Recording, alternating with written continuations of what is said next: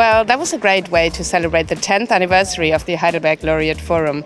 A beautiful cake created by HLF alumna Jie Li and her friend and professional baker, Jianlin Huang. Yes, cake is my favourite way to celebrate.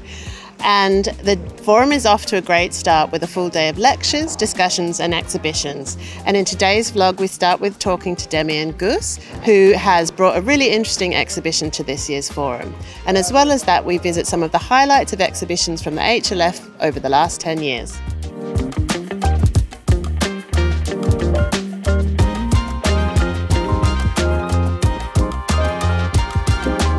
We're here with Demian Goos, one of the Heidelberg Laureate Forum alumni.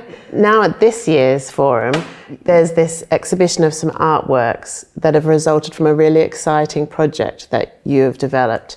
Can you tell us about the project and how it's linked to the forum? So, yeah, the, the, the project is called Intercultural Science Art Project, and I started it 2019 when I first attended the HLF as a science communicator. Basic idea is we invite young researchers who attend the HLF to create artworks inspired by their own research to represent their own research in an artistic fashion. What are some of your favorite elements of that process of developing the exhibition? Personally, I enjoy it to talk with the young researchers who participate, how they approach this idea. Everybody has a very personal and particular way of resolving my task and you get to know different uh, kinds of way of think, thinking um, and, and, and different cultures, different languages, different ideas and it's just like a very beautiful mix of people joining an effort.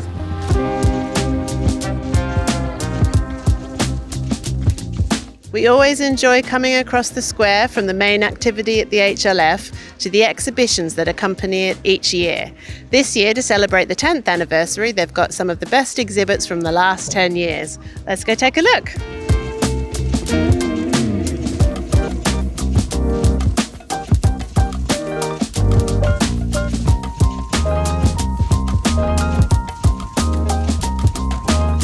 I'm with Ruth Wetzlar, the Managing Director of the Heidelberg Laureate Forum Foundation. Ruth, you've been a part of the HLF from the start.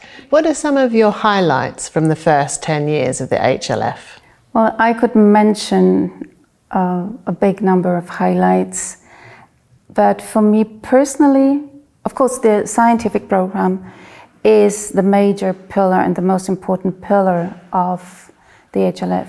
But personally, for me, it's seeing the, the participants, the younger ones and the ones that are more advanced in age, network and collaborate and see how friendships develop or collaborations that go way beyond the HLF.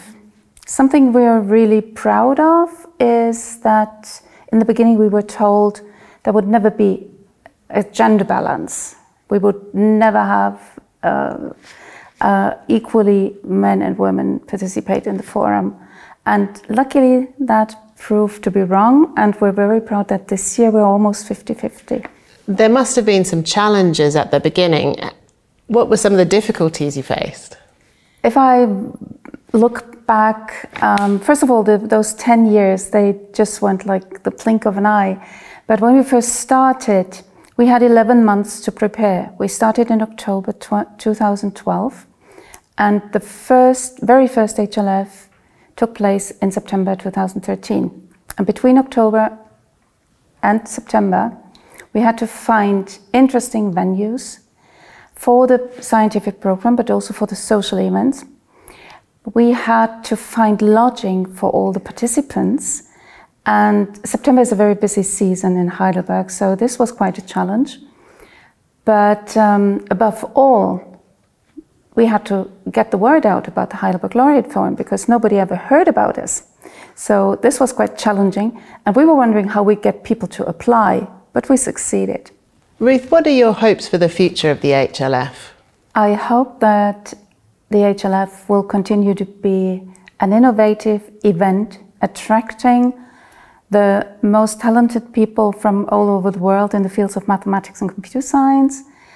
And thankfully, I I believe we have a good foundation for this to grow on, and also I hope that our alumni will continue to help us spread the word and our goals throughout the world.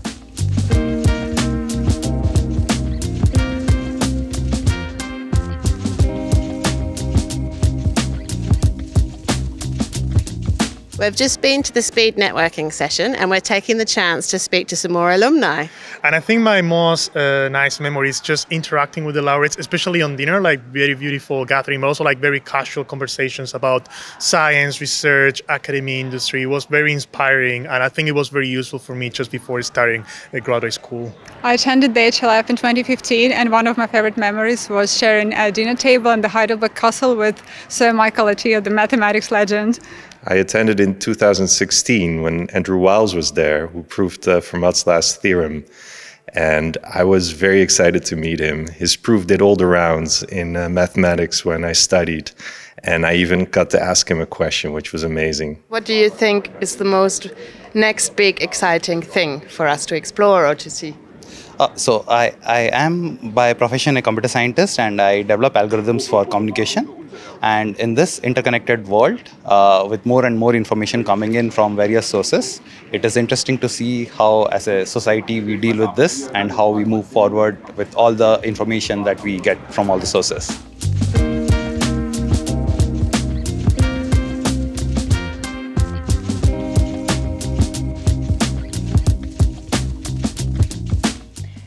Pleased to be here now with Maryna Viazovska, who won a Fields Medal in 2022.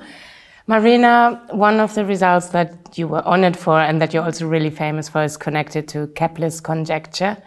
Could you tell us about Kepler's conjecture and how your work was linked to that? Kepler's conjecture, uh, it's a, a, question about uh, packing spheres in dimension three. So we have a big, big box and infinite uh, and a supply of uh, equal-sized balls and we try to put as many uh, balls into this box as we uh, can. And we also think that somehow balls are much smaller than uh, the box. And so the only the density becomes important. And so the question is what is the optimal configuration of balls the densest configuration of balls? And um, uh, so the uh, Kepler and also uh, a bit less famous, but uh, British and American uh, scientist Thomas Harriot, they found an answer to this question, how to pack uh, in the best way, but they did not know, they did not have a mathematical proof, mathematical argument which could tell us that the, this packing cannot be improved. And so this question became known as the Kepler's conjecture, and it turned to be uh, turned out to be a very very complicated optimization problem. So it was uh, solved only at the end of 20th century by uh, American mathematician Thomas Hales. And it was a complicated pro proof. Uh, it uh, included a lot of computer computations to make it rigorous. And so the problem I worked on, it was a similar uh, question, only not in dimension 3, but in dimensions 8 and 24. So as you just said, uh, Hales' proof for dimension 3 was complicated, it was very long, and it required computation, whereas your proof for dimension 8 is famously short. So what's the difference? Yeah, so I think the difference is actually in dimension 8, just because dimension 8 is very different from dimension 3, and the configuration which exists optimal configuration which exists in dimension 8, it is in some sense much, much better than any configurations that exist in dimension 3. And so here it's really the, the reason for possibility of short proof, I think, the is the mathematics itself. So for example, this method, it would not give optimal result in dimension 3 looking forward and broadening out to all of mathematics. Is there anything you're particularly excited about that could happen in mathematics, say, in the next 10 years? Any results that are on the verge of being proved? Any developments you're really interested in? We spoke about uh, mathematics as, uh, especially pure mathematics, as really a field that is developing kind of slowly. At the same time, from time to time, we do have uh, very unexpected, beautiful breakthroughs. In my own area, I hope that in five, ten years, somebody will solve sphere packing problem in dimension four. I think that's doable and should be also somehow I think this after all uh, solution could be just very smart and somehow come from just pure math ideas or this is also an area where computations could be used in some smart ways so maybe so this is maybe like in my corner of mathematics this is what I hope for and yeah at least right now it seems to me something which should be very doable. So.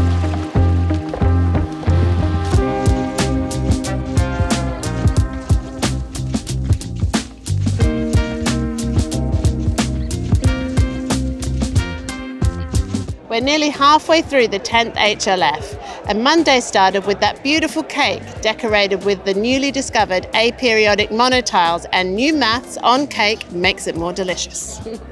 And we end Tuesday here at the Kulturbrauerei at the Bavarian evening to enjoy the local culture. But of course, there's also been lots of interesting maths and computer science in between and yet more to come. So stay tuned for the next vlog, but for now, Prost!